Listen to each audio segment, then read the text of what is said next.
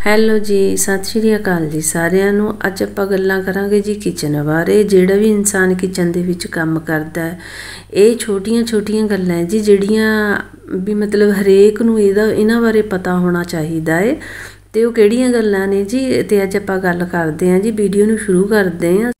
ਕਈ ਵਾਰ ਕੀ ਹੁੰਦਾ ਜੀ, ਆਪਾਂ ਕੋਈ ਸਬਜ਼ੀ ਬਣਾਉਂਦੇ ਆ ਤੇ ਆਪਣਾ ਧਿਆਨ ਕਿਸੇ ਹੋਰ ਪਾਸੇ ਚਲੇ ਜਾਂਦਾ ਹੈ ਤੇ ਉਹ ਸਬਜ਼ੀ ਹੈ ਜਿਹੜੀ ਨੀਚੇ ਪਤੀਲੇ ਨੂੰ ਲੱਗ ਜਾਂਦੀ ਹੈ ਤੇ ਉਹਦੇ ਵਿੱਚੋਂ ਸਬਜ਼ੀ ਤਾਂ ਬਣ ਜਾਂਦੀ ਹੈ, ਪਰ ਜਲੇ ਹੋਏ ਦੀ ਸਮੈਲ ਆਉਣ ਤੇ ਨਹੀਂ ਹਟਦੀ ਹੈਗੀ। ਉਹ ਤੁਸੀਂ ਕੀ ਕਰਨਾ ਹੈ ਜੀ, ਸਬਜ਼ੀ ਦੇ ਵਿੱਚ ਨਾ 2 ਚਮਚ ਭਰ ਕੇ ਦਹੀਂ ਦੇ ਮਿਕਸ ਕਰ ਦਿਓ।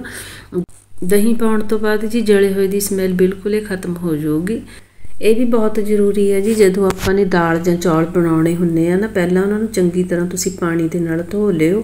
ਧੋਣ ਤੋਂ ਬਾਅਦ ਤੁਸੀਂ ਉਹਨਾਂ ਨੂੰ ਭਿਉਂ ਦੇਣਾ ਜੀ, ਅੱਧਾ ਘੰਟਾ ਪਹਿਲਾਂ ਜਾਂ ਘੰਟਾ ਪਹਿਲਾਂ ਭਿਉਂ ਦਿਓ ਫਿਰ ਤੁਸੀਂ ਜਿਹਦੇ, ਜਿਹੜੇ ਪਾਣੀ ਦੇ ਵਿੱਚ ਚੌਲਾਂ ਨੂੰ ਜਾਂ ਦਾਲ ਨੂੰ ਭਿਉਂਤਾ ਹੋਇਆ ਹੈ ਉਸੇ ਪਾਣੀ ਦੇ ਵਿੱਚ ਤੁਸੀਂ ਉਹਨਾਂ ਨੂੰ ਪਕਾਇਓ। ਇੱਕ ਵਾਰ ਤੁਸੀਂ ਪਕਾ ਕੇ ਜ਼ਰੂਰ ਦੇਖਿਓ, ਤੁਹਾਡੀ ਬਹੁਤ ਗੈਸ ਦੀ ਬਚਤ ਹੋਊਗੀ ਤੇ ਬਹੁਤ ਛੇਤੀ ਦਾਲ ਬਣ ਕੇ ਤਿਆਰ ਹੋ ਜੂਗੀ ਜੀ। ਕਈ ਵਾਰ ਨਾ ਆਪਾਂ ਫ੍ਰਿਜ ਦੇ ਵਿੱਚ ਦੁੱਧ ਰੱਖ ਦਿੰਨੇ ਆ ਜੀ ਤੇ ਜਦ ਆਪਾਂ ਉਹਨੂੰ ਦੇਖਦੇ ਉਹਦੇ ਵਿੱਚੋਂ ਨਾ ਖੱਟੇ ਖੱਟੇ ਦੀ ਸਮੈਲ ਜੀ ਆਉਣ ਲੱਗ ਜਾਂਦੀ ਹੁੰਦੀ ਹੈ। ਤਾਂ ਆਪਾਂ ਨੂੰ ਐ ਹੁੰਦਾ ਵੀ ਜੇ ਆਪਾਂ ਗਰਮ ਕਰਾਂਗੇ ਤੇ ਇਹਨੇ ਫਟ ਜਾਣਾ। ਇਹ ਤੁਸੀਂ ਨਾ ਕਿਆ ਕਰਨਾ ਹੈ ਵੀ ਦੁੱਧ ਤੁਹਾਡਾ ਫਟੇ ਨਾ।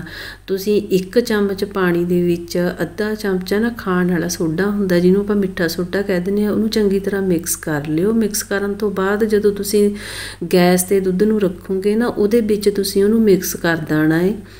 ਪਾਣੀ ਔਰ ਮਿੱਠੇ ਸੋਡੇ ਨੂੰ। ਅਤੇ ਤੁਹਾਡਾ ਦੁੱਧ ਤੁਸੀਂ ਉਬਾਲੀ ਵੀ ਦੇ ਲਿਓ ਜੀ, ਦੁੱਧ ਕਦੇ ਨਹੀਂ ਫਟੂਗਾ ਜੀ। ਇੱਕ ਗੱਲ ਨਾ ਤੁਸੀਂ ਦੇਖਿਓ, ਜਦੋਂ ਆਪਾਂ ਸਟੀਲ ਦੇ ਭਾਂਡੇ ਦੇ ਵਿੱਚ ਦੁੱਧ ਨੂੰ ਉਬਾਲੀ ਦਿੰਨੇ ਆ ਪਤੀਲੇ 'ਚ, ਉਹ ਨਾ ਨੀਚੇ ਬਹੁਤ ਲੱਗ ਜਾਂਦਾ ਹੈ ਜੀ ਦੁੱਧ।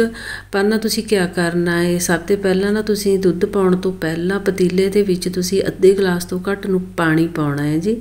ਪਾਣੀ ਪਾ ਕੇ ਉਹਨੂੰ ਚੰਗੀ ਤਰ੍ਹਾਂ ਇੱਕ ਉਬਾਲੀ ਆਉਣ ਦੇਣੀ ਆ। ਉਬਾਲੀ ਆਉਣ ਤੋਂ ਬਾਅਦ ਫਿਰ ਤੁਸੀਂ ਜਿਹੜਾ ਦੁੱਧ ਆ, ਉਹਨੂੰ ਪਤੀਲੇ 'ਚ ਪਾਓ ਤੇ ਉਬਾਲੀ ਦਿਓ। ਤੁਹਾਡਾ ਜਿਹੜਾ ਦੁੱਧ ਆ, ਉਹ ਬਿਲਕੁਲ ਵੀ ਨੀਚੇ ਨਹੀਂ ਲੱਗੂਗਾ ਜੀ। ਪਲੀਜ਼ ਜੇ ਤੁਹਾਨੂੰ ਵੀਡੀਓ ਵਧੀਆ ਲੱਗੀ ਤਾਂ ਤੁਸੀਂ ਲਾਈਕ ਸ਼ੇਅਰ ਤੇ ਚੈਨਲ ਨੂੰ ਸਬਸਕ੍ਰਾਈਬ ਜ਼ਰੂਰ ਕਰ ਦਿਓ ਜੀ। ਤੇ ਆਪਾਂ ਇਸ ਤਰ੍ਹਾਂ ਦੀ ਨੌਲੇਜ ਵਾਲੀਆਂ ਵੀਡੀਓ ਵੀ ਲੈ ਕੇ ਆਇਆ ਕਰਾਂਗੇ ਜੀ। ਵੀਡੀਓ ਦੇਖਣ ਵਾਸਤੇ ਤੁਹਾਡਾ ਬਹੁਤ ਬਹੁਤ ਸ਼ੁਕਰੀਆ ਜੀ। Thank you so much